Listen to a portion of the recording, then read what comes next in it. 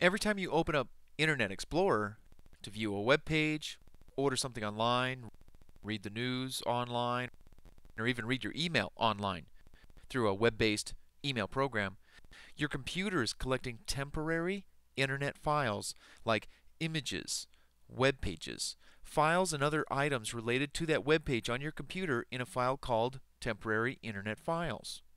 All this information is being stored on your computer for no other purpose than to just increase the download speed of certain web pages that you frequently visit. Kind of a good thing. The downside is that after a long period of time, let's say like three months or so, these temporary internet files can take up space on your computer. Not a good thing. So every once in a while, it's a good idea to delete these files from your computer safely from within Internet Explorer itself. Once a day, once a week, etc. Here's how you do it. If you're using Internet Explorer, click on Tools, Internet Options. Then, where it says Delete Files under the Temporary Internet Files heading, press that button. A message will pop up saying delete all the files in the temporary Internet Files folder. Yep, you bet.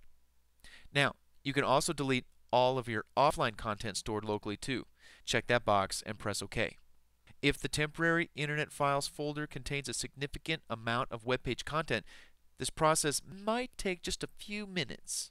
Not long though, but it will take just a few minutes to complete. Once it's done, it's done. Over time, as you revisit old sites and visit new ones, your computer will start to accumulate more files again. Many of the same and some new websites you visit will replant their temporary files on your computer. But now that you know how to delete these temporary internet files, you're free to do just that whenever you need to. So remember to perform this task at least uh, once a day or a couple times a week, maybe twice a month or so so that you can remove all those temporary internet files and create space on your hard drive and remove all this information that is called temporary internet files, web pages, images, etc. So you're doing great. Come on, let's continue to the next video tutorial.